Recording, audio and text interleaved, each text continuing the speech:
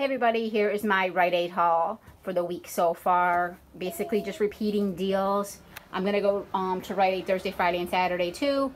But um, the Snug and Dries over here, I um, did Sunday. Everything else I've done throughout the week. Uh, the Purex uh, is $1.99 each. I had a Plenti offer for 200 points, so those were free even though they were um, for starting points. Palmolive was $1.99 each. If you buy two, there's a dollar off two coupon in the January 1st coup, uh, um, inserts.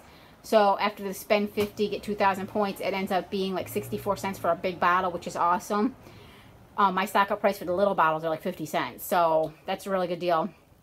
The light bulbs are $7.99 each, limit two per card. Um, and then if you buy one, you get 500 points. The coupons for the $2 off each one was not in my paper. But if you um, configure in the spending 50 get $20 or 2,000 points, they'd be free anyway. And then the diaper deals, I just repeated um, the deal.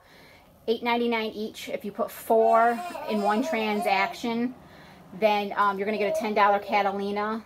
Um, use the $3 internet printable coupon off of each one. I ran out of those, so I used the $2 off of each one. Still an awesome deal. I got my 2,000 points. Um, so I paid a little to nothing out of pocket, and it's been like a really good week.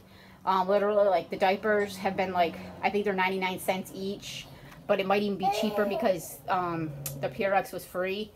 The Palmolive was 64 cents, free free light bulbs. I mean, this, this week was awesome. I'm to go back and get some more. Um, I think I'm to do pull-ups. Sorry, I have the window here. I live in New York and it's like 44 degrees. It's like a heat wave here today. But anyway, I'm to go back um, and do some huggy pull-ups, I think. Not that I need them, but if they're to be this cheap, I'm to get them. So if you could give this video a thumbs up, comment, like, or subscribe. And thanks for watching.